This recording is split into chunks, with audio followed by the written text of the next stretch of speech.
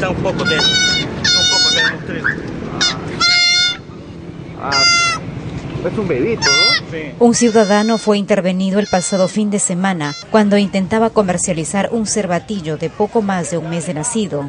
El animalito estaba siendo ofrecido en las inmediaciones del mercado número 2 por el Huequito. Fueron miembros de la Policía Ecológica quienes procedieron con la intervención.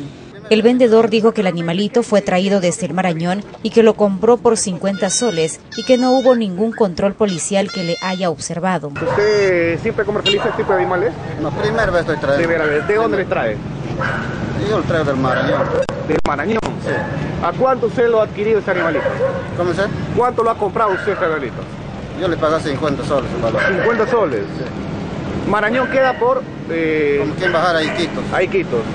Y ahí en el trayecto hacia acá no ha tenido ningún problema con la policía, es, es decir, porque trasladar estos animales está, digamos, eh, no, no, no, está... no, no, no se ha intervenido ni qué, ni qué momento. No. no, no nos controlaba. Ah, no te controla la policía. No, normal. Sea, ¿Y dónde exactamente ya te intervienen con este animalito? aquí en el mercado. ¿Qué es lo que te dicen? No, es que yo a lo menos no sabía si está prohibido, porque yo, vivo, yo viví por la zona del Marañón.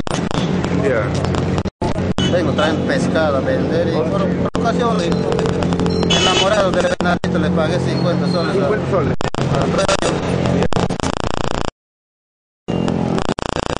Por más que uno se quiera vender. Primera vez estoy Primera vez. comercializando, primera vez estoy trayendo esto. Anteriormente, ¿qué, qué, qué, qué es lo que comercializas? Bueno, mi negocio es el pescado. Ah, el pescado.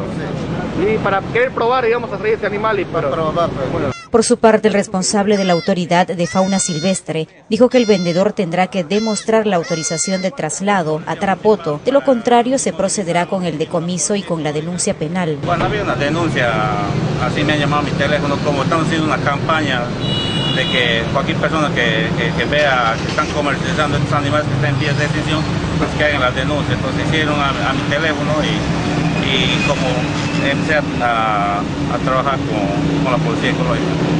ya llegaron hacia este lugar, lugar, detectaron el animalito, llegaron al señor donde, bueno, estaba comercializando. ¿Qué es lo primero que usted lo dijo, señor? Bueno, como he pedido el apoyo de la Policía Municipal para inmovilizarlo, vino la Policía Ecológica y se hizo el acta respectiva. Si la persona es propietario y tiene el documento que lo acredite, nosotros como Estado le vamos a devolver. En caso contrario, este animal está inmovilizado y hasta que tiene cinco días hasta que presente todo el documento legal. Si no es así, eh, va a ser sancionado. Y si es un y, y vamos a ver si este animal está, está protegido por el decreto supremo 034. Si es así, va a ser denunciado penalmente. Es un, Y sí, más o menos de 3 a 5 años. Es un venadito bebé. Así ¿De es, cuánto ¿no? tiempo es nacido? No debe tener ni un mes. Sí, un mes. Es relativamente bebé, ¿no? Bebe, ajá. Ahí tienen que mantener con leche.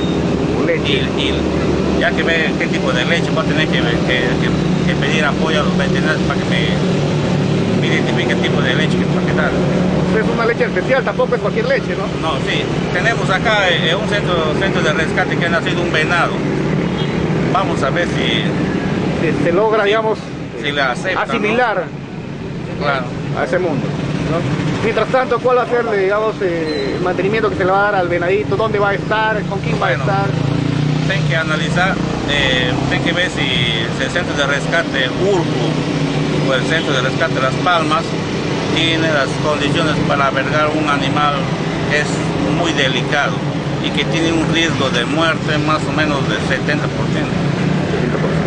Que no pase eso. Y eso es un llamado a la población que, que, evite ¿no? en, en las, en las cosas, ¿no? porque realmente estamos depredando no solamente nuestros bosques, sino todo lo que se encuentra en ellos. Ya lo dijo Albert Einstein, el día que desaparecen los animales, así como ejemplo las abejas, el hombre va a tener solamente una vida de cuatro años. Porque los animales son los que dispersan las semillas, esas cosas.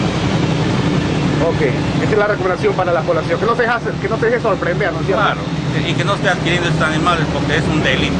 La autoridad de fauna silvestre dijo que el cervatillo será puesto en un lugar de refugio mientras se determine su situación. Ah, es un bebito, ¿no?